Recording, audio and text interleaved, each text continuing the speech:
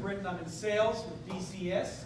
I've been at JB Hunt since March after several years of pastoral ministry. Excited to be here. I joined Toastmasters at the coercion of Tony, Jose, and my boss, Brian Webb. So when Brian Webb said, you should probably join this, I joined it. And I really enjoy it. I'm here because I love to invest in people. I love watching them grow and learn, develop personally and professionally. And I hope at some point to do some life coaching. And I'm seeing Toastmasters as a stepping stone to accomplishing that goal. Now today I want to talk to you about my favorite animal.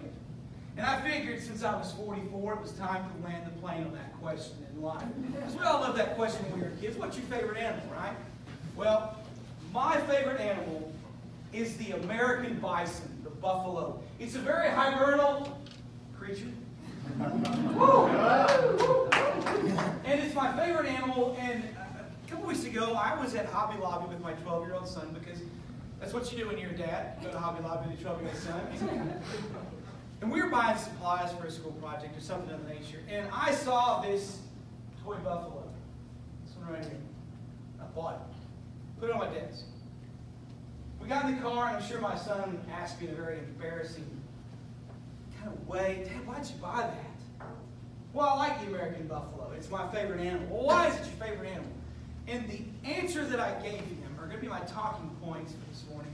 And I hope that as it was a challenge to him growing up as a young man, that each and every one of us find today to be a challenge, and we desire to grow deeper and stronger so that we may have a greater impact on those around us, our friends, our families, and our coworkers. The first characteristic that I learned from the buffalo is its strength.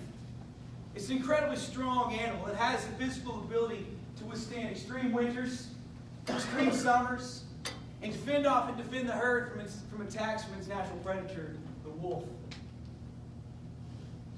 Every day we wake up and life comes at us different. We never know what day is going to hold.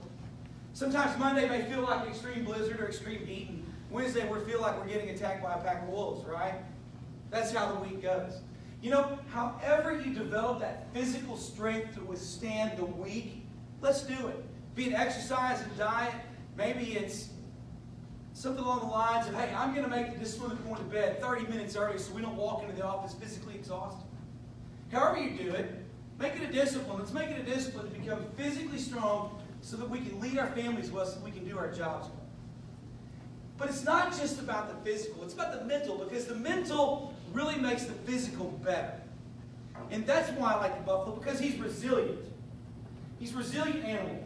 Uh, resiliency is the mental fortitude that puts the physical into motion. It is the ability to think and process and not panic. It's the ability to adapt and to overcome.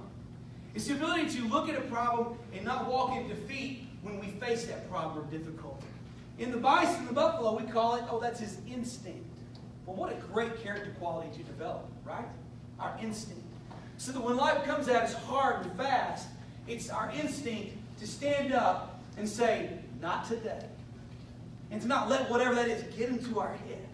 And to remain mentally strong, to develop our instinct when trouble comes, when hard times come. Strength and resiliency really lead me to develop my last point on this. And why I really, really love the buffalo is that the buffalo is absolutely completely useful. See, the American Indians that hunted the buffalo on the plain, they wasted nothing. They used every part of this animal. And isn't that how we want to be?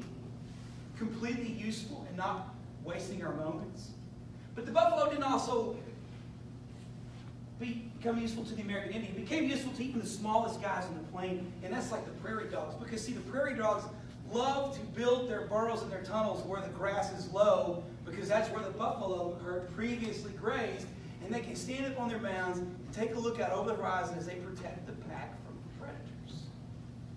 It's completely, absolutely useful. I, myself, would love to be the kind of person that is so useful that I protect, I provide, and I put others in a position to succeed and grow. Strength, resiliency, and completely useful. There's your personal growth plan for 2019. Woo. Listen, as we wrap this up, I want to ask you and challenge all of us, hey, let's work hard and stay focused. and not waste each moment that we've been given every day. Thank you for letting me be here today. Yeah.